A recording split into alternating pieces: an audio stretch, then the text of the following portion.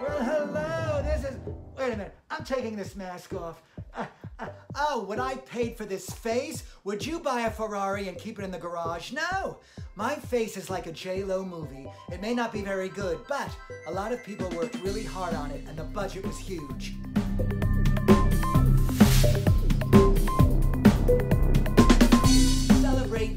V-Day with Joe Posa as Joan Rivers, and the V doesn't stand for Valentine. It really stands for my vagina, which is so damn dry. If I rub my legs together, I'll start a fire.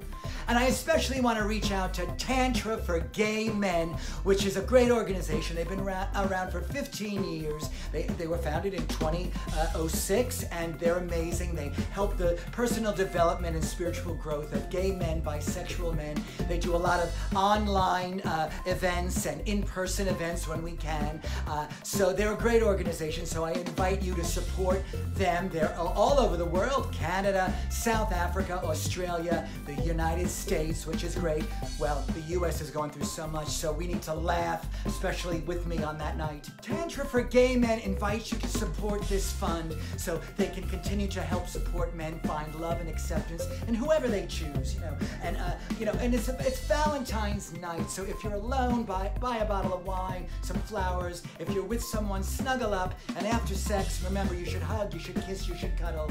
Me, I want to get dressed, get my money, and go home. So join me. It's going to be a great night. It's going to be a big night, bigger than this flower.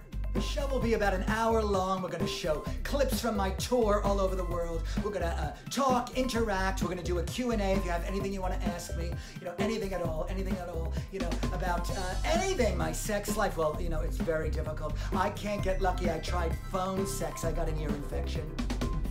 And you'll be helping artists like myself who haven't worked for a year. You know, this jewelry isn't cheap. So I do hope you join me on February 13th at 7 p.m. Saturday night. You know, because these are challenging times. Yes, yes, yes. But there is light at the end of the tunnel, unless you're Princess Diana. See you then. Mwah.